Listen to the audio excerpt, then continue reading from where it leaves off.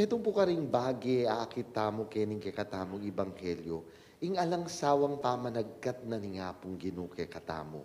Banketa maging kayabe na katamo, king obra na ning ah, pamangalat king maya pabalita. Magobra, adapin po ding makatuwang kapampangan, magobra king ubasana ni nga pong ginu. And he is always persistent. Siguro po, ing metong akutang kay katamo yapin po ini. Nanula ring maging sangkan, o ba't papayalyan tayo nga pong ginu. Nano yung maging sangkan, o ba't kailangan ni po, e mumisan no ne nakalwat bayo nakatamo agkat. At tatandanan kay po itang ah, metong ming ah, akayabe minsan ni po. Nga nang makanyan. Eh nako pa importante, nako man importante. Nga nang makanyan. Puta po kasi mama nga niya mo po sabihan na rin tao. O tara bangantana. Eh, kunwari mo, alam mong bisang lumapit kitang pipanganan.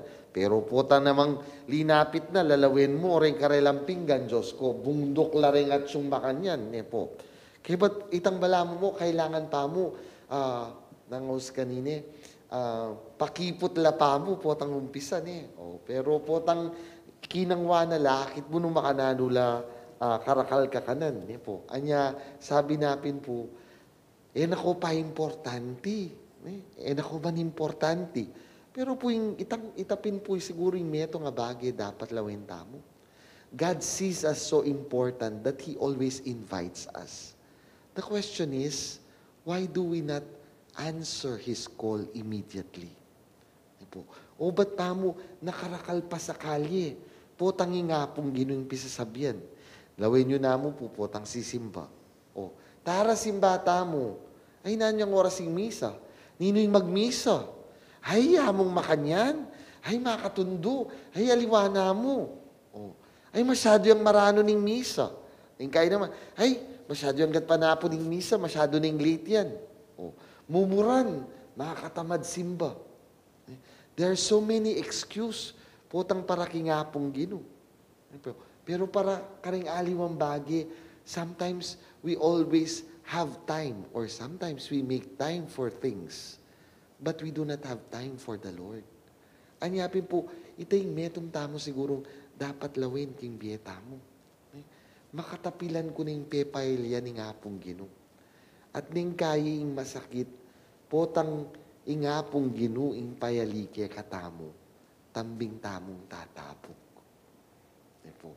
E tamo akakit, potang ita mo yung payali kayo. Pero potang ita mo yung pepayalyan na, tambing tamong masakit lo.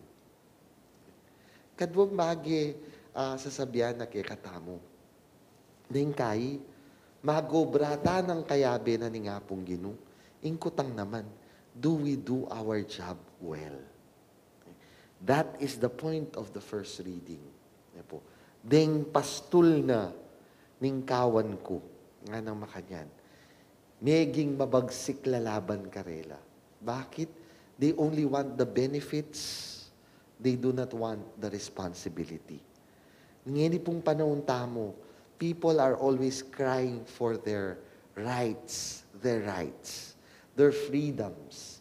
Pero po, tandaan tamo, with every freedom that you exercise, you always are supposed to be aware of the responsibility that comes with it. When you exercise your freedom, you must know that there is always a responsibility. At ingke katamong mumunang pamamasa, yan yung metong karing sasabiana. Yan po. Ah, iyapin niya itang dapat balo mo. Walang sino man ang nabubuhay para sa sarili lamang. We are always responsible for the other person because we are supposed to be Christians. Ngapin po, gangking relasyon eh mo, yan din kayong problema. Oh. Sabihan na, eh kubisang masasakal. Eh, o ba't mo na makanyan, potang ah, ay, la, ay, ay mo ko kayabe, lagi kang mangutang. Makanano kang eh mangutang. Makanano kang eh manintun, potang alayo. Bakit? Kasi yung kutang, is he responsible when you are not around.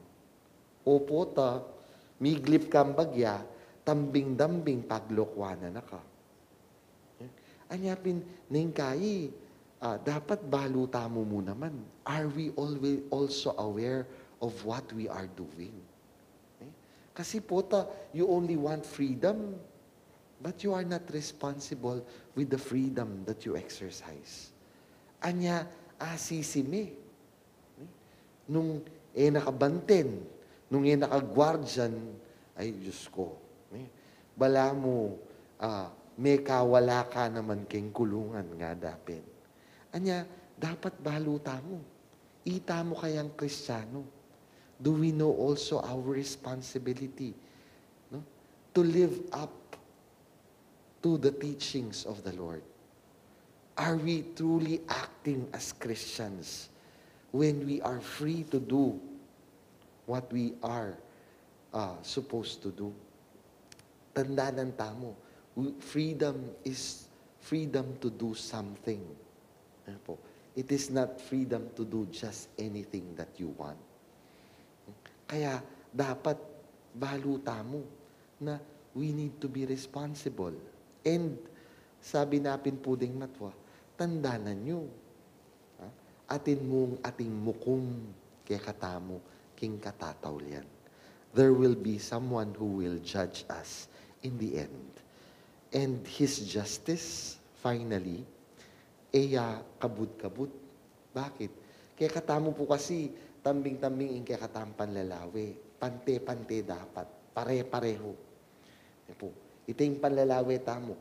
Eya, pan, ah, eya just, patsa eya pareho. Kailangan para pareho yung ega na gana. Pero yung sasabihan na ni nga pong ginong, ali. Kung minsan ang hating kapatid ako ngapin ay hindi pantay. Bakit? Kasi kung tunay kang kapatid, dapat tinitignan mo kung sino yung mas nangangailangan.